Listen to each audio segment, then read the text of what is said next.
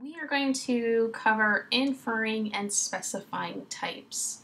So the interesting thing about Swift is that Swift um, can, depending on the value, guess what its type is. Um, and I can show you really quickly. Let me just go ahead and type inferring types so that we know what's going on underneath. So in this case, I'm just going to use the code that's that the playgrounds provide me. Uh, in this case, the variable str is actually inferring the type from the actual value. In this case, hello playground is a string. And one way we can check is we can do, uh, we can actually click option and then plus click um, on the actual variable name. As you notice, the variable name changes colors and the pointer turns to a question mark. So if we click that, it'll pop up what its declaration is or what, what it is. So the variable str is a string, and that's correct. It is a string. Um, and then if you want to find out more, you can click here and it will tell you what you need to know. Or if you just want to look it up, you can do that too. um, so the so like I said, the very interesting thing about Swift is that it will guess what what the type is. So it, another example is with this type of variable um, named integer, and we will give it the value of 4. So let's guess it's most likely going to be an int, so if we do option plus click, it is an int, which is absolutely correct. Let's try, let's see, float 12.2. Let's see what it infers. So option plus click. Oh, nope, the double. So you see, it inferred that it was a double. Uh, and you know, and then that's that's where actually specifying types is uh, comes in at because sometimes you need to know what it's going to be. In that case, I thought it was going to be a float, but obviously it wasn't. So what we can do is we can take um, the variable and then we specify it by doing colon float and then equal it to 12.2. Well, let's see what happens. Okay, so we do option plus click, and there you go. It's actually a float. Uh, another thing that we can, and that actually really helps to it helps the compiler know, okay, this value is not a double like I assumed. It's actually a float. So let's click here.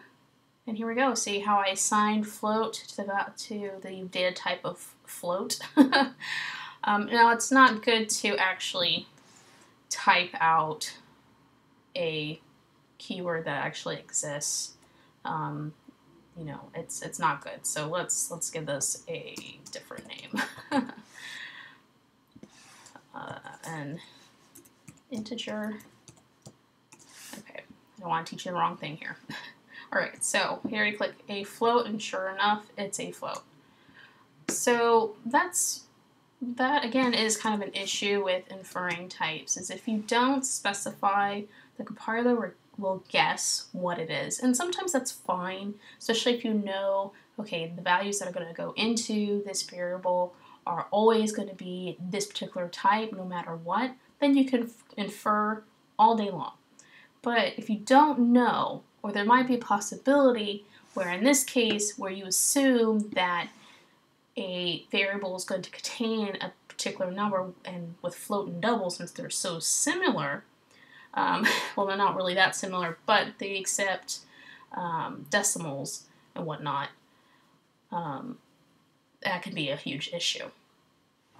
So um, another thing I wanted to also kind of go over is making sure that you pass in variables that have the same type. So for example, we'll take a float. our variable a float. And let's assign it to specify float. We should get an error message, or not. Yes, we do. Okay. And can you guess why we get an error message? Let's see if your guess is correct. The reason why we got an error message is because a float is is of type double. If you click here, sure enough, it's a type double. Specified float, on the other hand, is a float. So that's one of the issues where you need to you know make sure that you're specifying your types is that you cannot assign one data type to another. It just doesn't happen. They have to have the same data type. And let's see what the error message says. Yes, it says cannot assign a value of type float to type double. So there you go. That's why you can't, because it just won't accept it. But you can convert it though. So since we know specify float is a float, we can change it to a double. Oopsie, not what I want to do. okay, see what happens. And there you go. See, it's specified. We, we converted specify float to a double. And if you notice, what's really interesting about this is the value. So that conversion kind of messed with the value a little bit. I mean, that's one of the things you you're gonna have to deal with, I guess. But you, there's ways you can you can go around this, um, and I won't go into it in this video. But I kind of just wanted to show you that you can change the value of something. Um, let's maybe do it zero. See what happens. There you go, 12 and 12. um, but then again, yeah. So make sure that your types are of the same type. Uh, don't always depend on inferring types.